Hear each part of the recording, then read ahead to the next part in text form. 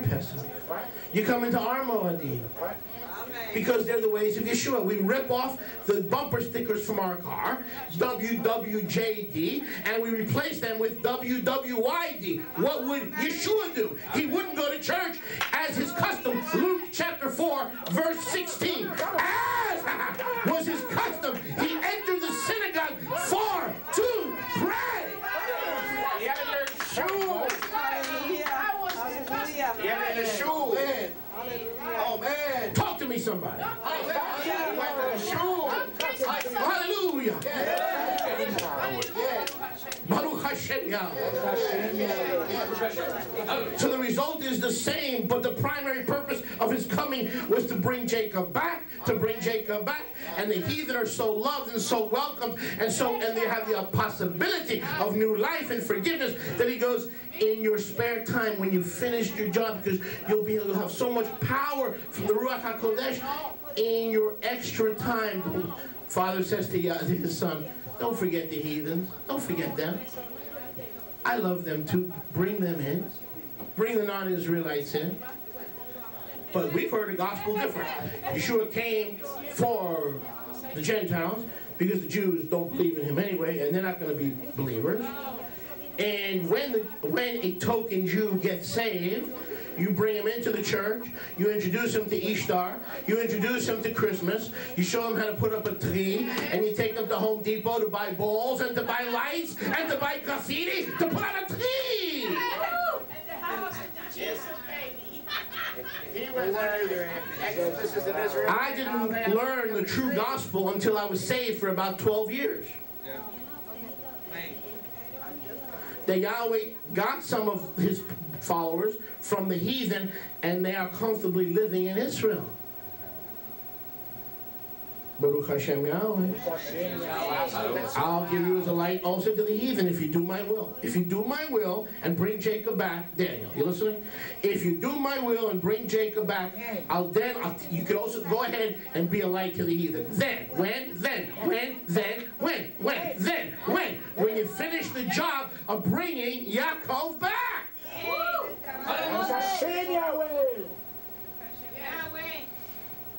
Baruch Hashem Yahweh. Baruch Hashem Yahweh. There's so many notes here, I don't even know where to begin, my goodness. Yahweh's yeah. You can't even you can't even go through all those notes. But I want you to focus in at the end of verse number six. This is important. You are my Eved to raise up the tribes of Yaakov, Yeshayahu 49 6, and to restore. Hello, these are the restoration scriptures. Why? Because we believe the true gospel. That Yahshua came to restore the tribes of Jacob, both those that can be seen and both those that can't be seen. Yes, near and far, correct. And to restore, now notice, this is very important, listen. Not only to raise up the general unbelieving tribes, right? When we saw all the tribes, most of them are still in what? In unbelief. So Yahweh says, not only are you going to be uh, uh, raising up all the tribes of Israel, even those that are not yet believers, but within those 12 tribes, there's a group, listen very carefully, there's a group called the preserved ones. You know what I'm talking about? And now you need to read the notes.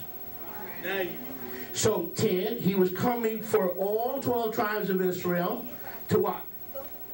Show them how to live like the New Testament Christian Savior, right? Wrong. To bring them back to Torah and back to the ways of the fathers. But within those unregenerate, unsaved, unbelieving 10, 12 tribes, there was a preserved ones or a preserved remnant. Now watch this to restore the preserved ones of Israel. And notice how he separates the preserved ones from the tribes. Hello? Couldn't he just said tribes? Tribes. Couldn't he have just said tribes? But Yahweh says the tribes and not only to raise them up, what does it mean to raise them up? Rebuild, rebuild the tabernacles, the, the sukkah of David that has fallen. Not only to rebuild the sukkah of David that has fallen, but to restore All right. to restore the preserved ones back into the tribes. So there's a preserved group that Yahweh was preserving and protecting so that when his son, the lesser Yahweh, was sent by the father, the greater Yahweh, that those, those preserved ones would come out of the mosque and out of the world and out of the church and be restored back to the 12 tribes. You missed that. Let's read it again. The Eved, or the servant, was being raised up not just to bring Yaakov back, all the tribes of Yaakov, but also to restore a preserved group back into those same 12 tribes. Now, now, now, you like those English words, preserved ones? They mean nothing. Let's go to the Hebrew. Look at, look at footnote number 10. Baruch Hashem Yahweh. Baruch Hashem Yahweh. Look at footnote number 10. The term preserved ones, are you listening? Yes. I said, are you listening? Oh, yeah. The, pre, the preserved ones in Hebrew is venotzir. Listen very carefully. Samech Yud Resh Yud, or Notzir Yisrael. Those returning from the 12 tribes are called by this name. Yeshua's job is to restore and return all 12 tribes back into one family as his disciples, or the preserved ones of Israel, into one olive tree. Preserved believers from both houses, or all 12 tribes, are no longer referred to only as Ephraim Israel or Jewish Israel, but as Nazarenes of Israel, here, but as Nazarenes of Israel. Here, the Hebrew word notzar, or notzir Yisrael, or the Nazarenes of Israel. Of course, the misguided traditional rabbis, now listen carefully, don't want anyone to accept the fact that Nazarenes are really biological Israelites and not pagans. Therefore, in many Jewish Bibles, such as the Stone English edition of the Tanakh, they have left out the vowel pointing of Nazir to make it appear as a different word, then added a different but similar word with vowel pointing in brackets, changing the U to a vav, to purposely make the reader unable to pronounce the word notzir as it actually appears, changing notzir to netzuri, which means ruin.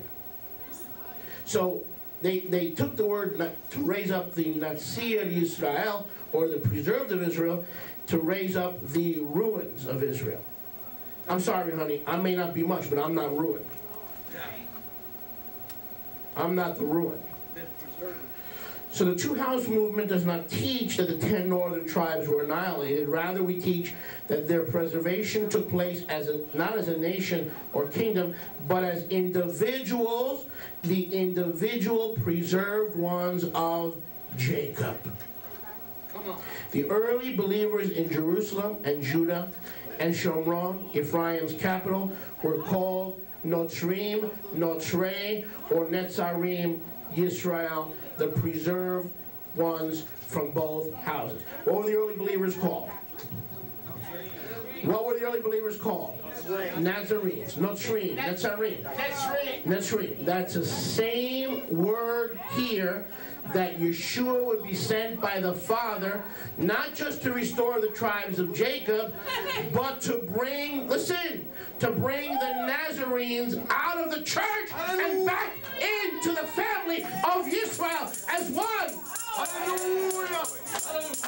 He would restore the tribes and return the Nazarenes who the Jewish Israelites threw out of the synagogue. That's right. And people say, well, how did this happen? How did you Israelites wind up in the church?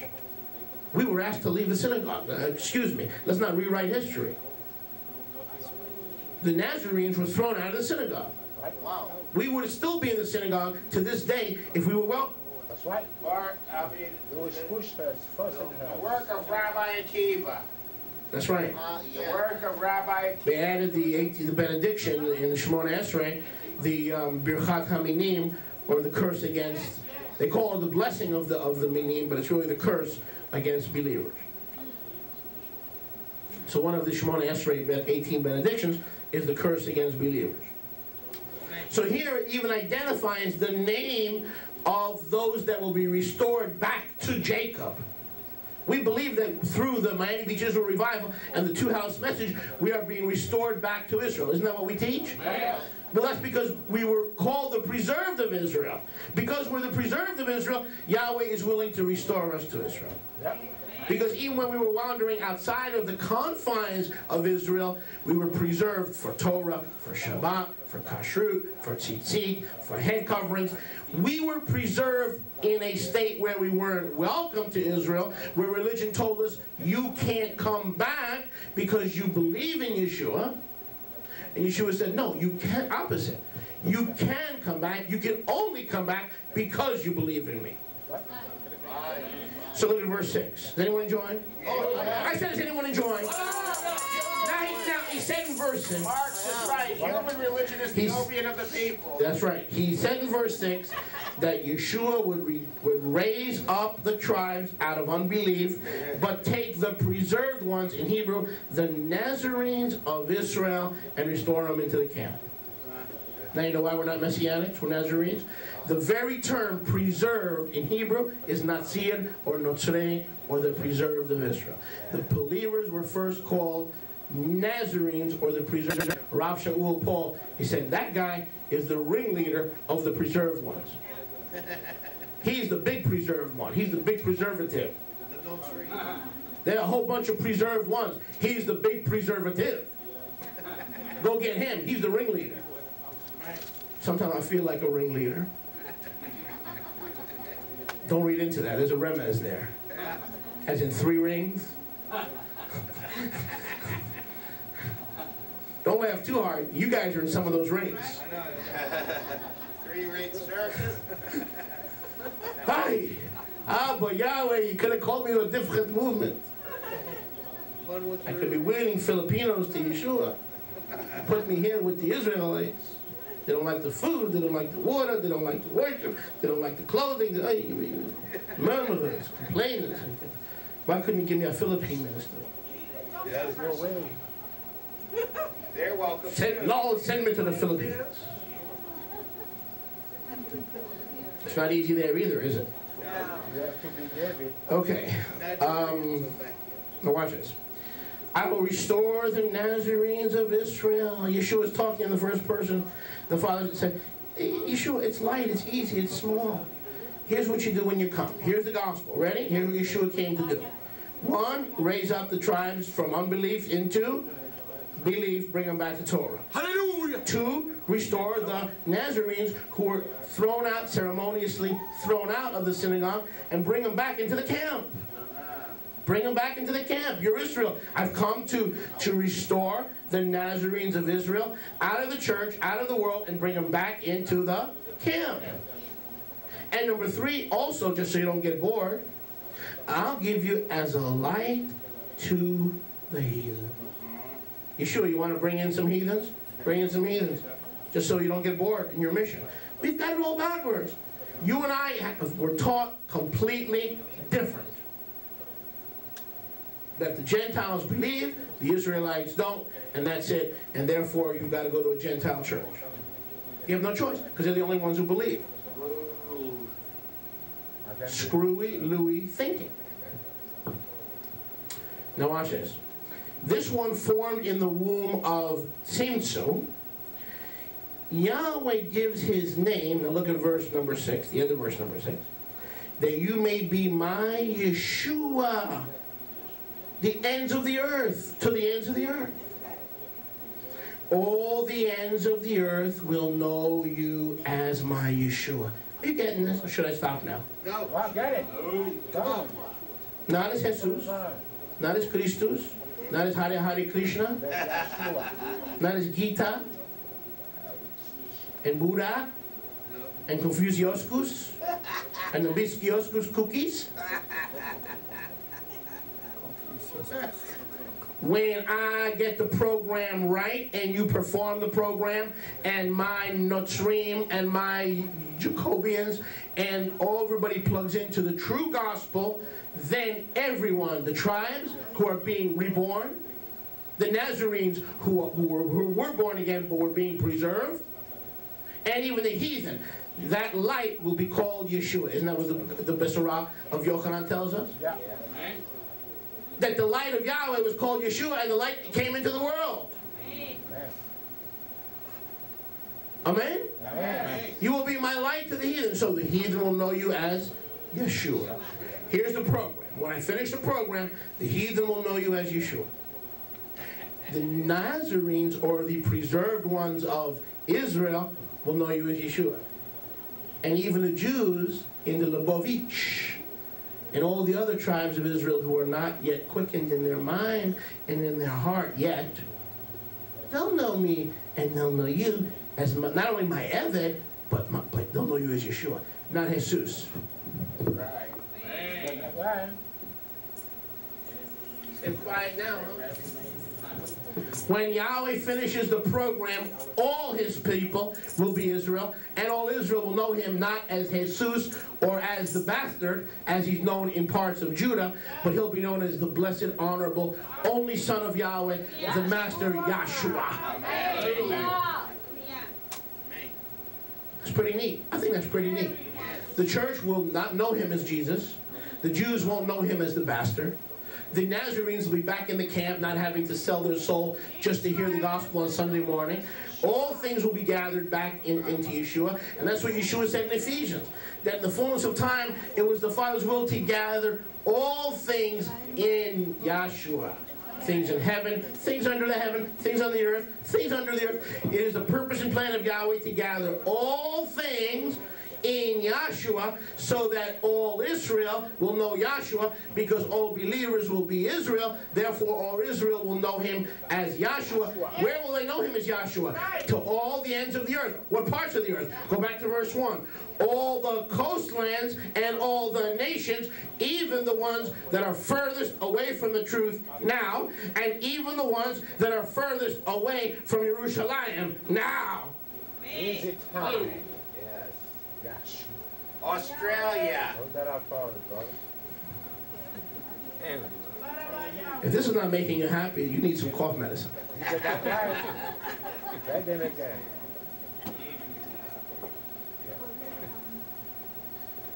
Can you imagine all your Christian friends, all your baptismos, catolocos, everybody is going to know Yeshua as Yeshua? Yes. Amen. They will. They will. Can you imagine that? Does that blow your mind?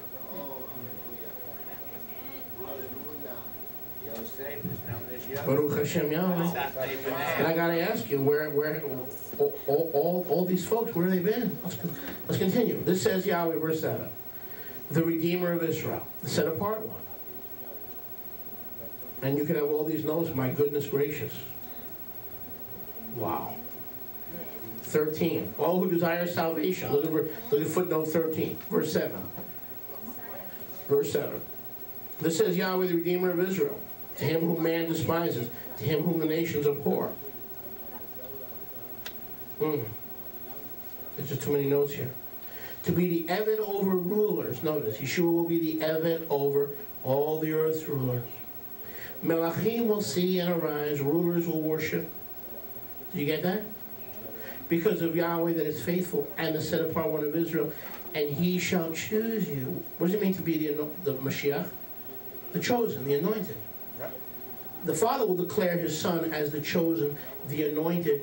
This, and we declare it to be the set apart one of Israel because the Father Yahweh is faithful to choose Yeshua and to send Yeshua, and because He will be faithful in His mission to raise up the tribes of Jacob, restore the preserved Nazarenes, restore the Nazarenes.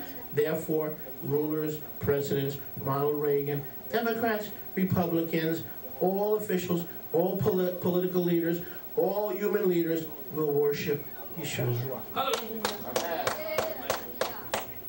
Why? Why will they all worship him? Because he was faithful to raise up the tribes of Jacob, restore the preserved ones. Notice, we weren't welcome in Jacob, were we? Yes. We were preserved as Nazarenes, but he will restore the Nazarenes to Jacob. And because he will be faithful in even bringing the light of Torah and of Yahweh to the heathen, despite the fact, verse 7, that man will despise him, despite the fact that nations will abhor him, nevertheless, when all this, when the smoke clears, Brian, when the smoke clears, those kings and rulers that hate him will wind up worshiping him. Amen. Amen. Now, Messianic Judaism tells us we shouldn't worship Yeshua. Why? We should worship the Father. That's a very hot teaching in the Messianic movement. Nothing coming by the dollar but that. Bupkis. There is not one time in the Besorot when a man or a woman worshiped Yeshua that he rebuked them. Not once. He allowed the worship, he let the worship go on, he didn't terminate it, and he didn't uh, re- re- reject that worship. What he does do is he works with you, and then eventually, as you grow in Yeshua, he points you to the Father. So then we worship the Father in Yeshua's name. But you can start out worshiping Yeshua. So this idea in the Messianic movement that, that everybody who worships Yeshua is idolatry, especially the anti-missionaries, well, you worship Yeshua, that's idolatry, and then we go, oh no, oh no, we don't, we, we don't, wa- we, we worship the Father, we, we don't worship Yeshua. Nonsense. Read my lips, Bubba. I worship Yeshua. If you got a problem with that, this, this is not the congregation for You you. get that right. See that again? Right again, they can hear you much better. I worship Yeshua. I worship a man. That's right. Feel better now? Because you cannot show me one place in the Besorot where Yeshua rebuked anyone who openly worshipped him. Show it to me. Show it to me. Show me one time when he did not receive worship. Show it to me. Men would get on their knees and grab him and hold him and pray and, and pray to him and uh, and give him homage. But eventually he points you to the Father. He says, no, no, no, no, no, no. The Father is greater than I. So if you're going to worship me, I'm going to redirect you to the Father. Right. Baruch Hashem Yahweh. It's us in Yahweh. Hallelujah. Hallelujah.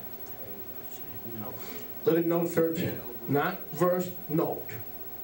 All who desire salvation must appoint Yeshua as Savior, and desire Yahweh's salvation, and desire to live in accordance with Israel's eternal constitution, called Torah. Look at footnote 15. Many men among Israel and Judah's rulers hated this Yeshua, despite the fact that he came to search for them, find them, and forgive them. He came to be the ultimate server and laid down his life as a ransom for many. Go to footnote number 16, not verse, note. Abba Yahweh has chosen Yeshua to bring himself worshippers from the ends of the earth, including kings, rulers, and presidents. Now, verse 8.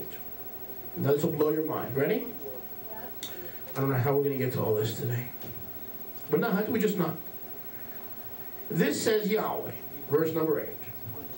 In an acceptable time have I heard you. In the day of Yeshua have I helped you. I will preserve you and give you for a covenant of the people to restore the land, to cause you to inherit the desolate heritages. Where else do we see this? Look at your notes. Note number 17. Where does we see where do we see this quoted? Second Corinthians. Correct.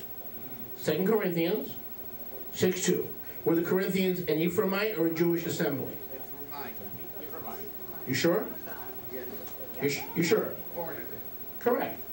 Correct. Corinthia, Corinthians were a predominantly Ephraimite assembly. Not Jewish, Ephraimite, from the ten tribes. Okay. He quotes this in 2 Corinthians 6 2 that he says, Now is the acceptable time, now is the day of salvation. But watch what he's quoting. Mhm. Watch what he's quoting. In an acceptable time I've heard you, in the day of Yeshua have I helped you. I will preserve you and give you as a covenant for the people to restore the land, to cause you to inherit the desolate heritages. In the Pashat, remember I warned you about this. In the literal, it is not talking about the Corinthians having to get saved before no man can get saved. That's the way it's presented in the Brit Chadashah, right? Hurry up, hurry up, saved. Now's the time to get saved. Right?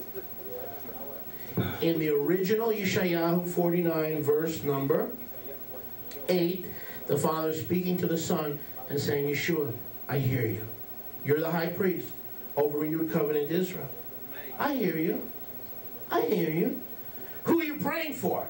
The raised up tribes of Jacob, those who have come back from Jacob, and the Nazarenes, the preserved ones of Israel. You're praying for them, you're longing for them, you're seeking for them, you're looking for them, you desire them. Don't worry, my son. I have in an acceptable time, what time? In the days when the two houses are becoming one again. That's our day, that's our time, that's our moment, that's our period, that's our time in history. It's coming. Yes, yes, yes. Time's coming. In that time I will hear you. I will choose you to be my servant to bring this task to pass. In that day of Yahshua, I will help you to bring the purpose to pass. The Father through Yeshua is looking for the lost sheep of the house of Israel. It's not Yeshua, the Father through Yeshua. Watch. I will help you. How do Yeshua know where to find you, Daniel? I'm going to pick on you today because you're sitting over there. You sit back there, I won't pick on you. Or next week. Only kidding. All right. So the, how did Yeshua know? How did Yeshua know where to find you? Some of you, he found you in in, in, in, in Chinese restaurant. Yeah. Some of you were in a Baptist church. You find me on my bed. Some of you were witnesses that, that were Jehovah. The Father was cho- chose Yeshua, and together they went looking. The Father and him, he and the Father, because the accepted time to revive the tribes, to preserve the Nazarenes and bring them back as preserved, faithful remnant into Israel, the accepted time. So this idea that, it, like they teach in the church, brother, now you need to get saved. Right now? Yeah, right now. This minute? Yeah, this minute. Why? Now is the acceptable time. Now, it- no. Pastor, slow down, baby.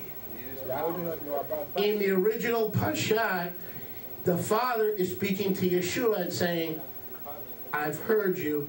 Let's get this Israel job finished.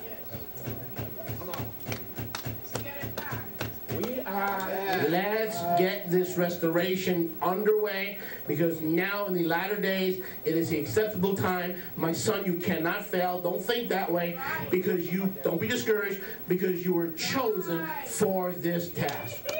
How do you know you're chosen? Because I am in you, going with you on your search for the lost sheep of the house of Israel. I am in you. You cannot fail. I am in you. This is the acceptable time, and I have heard you. This is all about the Father telling the Son, do you believe in the two houses? How many believe, think Yeshua believes in the two houses? I get that all the time. Rabbi Moshe or Brother Moshe, and you know what happens when I hear that? I'm like. Either they're mad at me, they don't understand the scriptures, but nine out of ten times, person in the congregation, well, Rabbi, you know, Rabbi, Rabbi, and when they get angry and they leave, they write me a letter. Mr. Koniuchowsky, Brother Moshe, I'm like, you understand? Everybody gets angry at me, they'll wind up calling, trust me, they'll wind up calling me Brother Moshe. All right, really. Okay, so let's continue. It happens all the time, so I'm used to it. Okay, go back to verse 8. This says, Yahweh, Yeshua, don't worry. I, I, you can't fail and accept the time I heard you. In the day that you will appear as in this task, in the day of, of Yeshua. Hello? When did Yeshua appear on earth? In the day of Yeshua. To do what? The Father's plan. Regather Israel. When did he show up? In the day of Yeshua. Hello? He showed up in the day of Yeshua. In the day of Yeshua, or the day of the restoration of the Notzrim of Israel, you'll be on your own.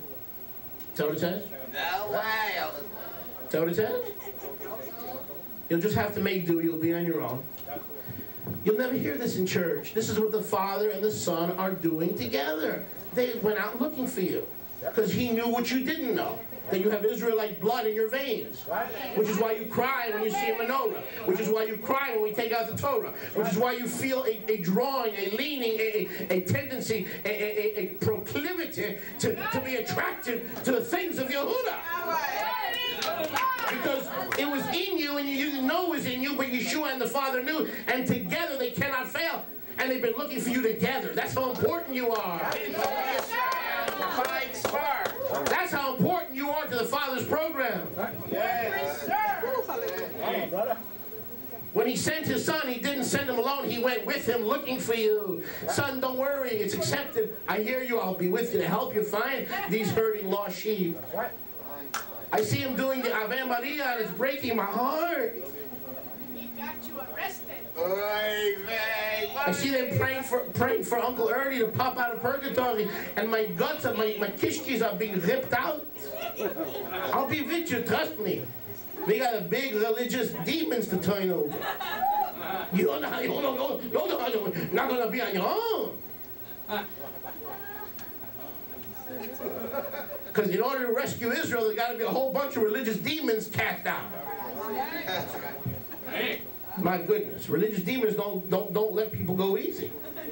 Well, Rabbi, I don't receive that. My father was Catholic, my mother was Baptist, and my grandfather the, the, the, the, was, a, was, a, was, a, was a traveling minister, and my great grandfather was the son of Thomas Paine.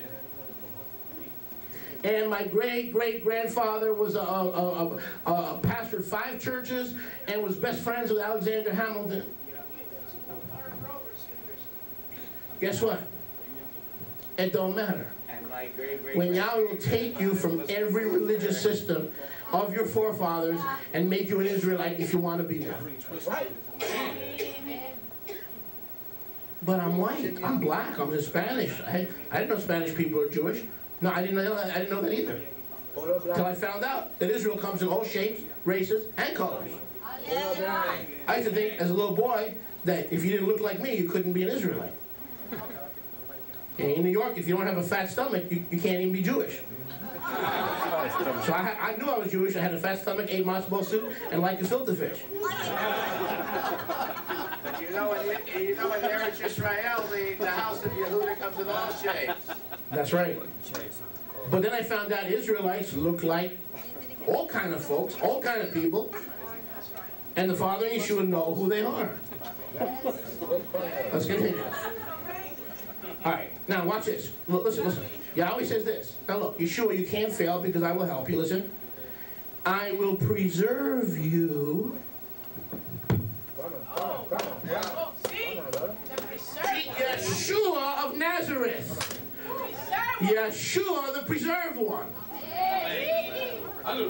You think that's a, a coincidence that he is Yeshua of Nazareth? No. He is Yeshua, the preserved one. Where else would he live but in the city called the city of preservation? Because he was coming.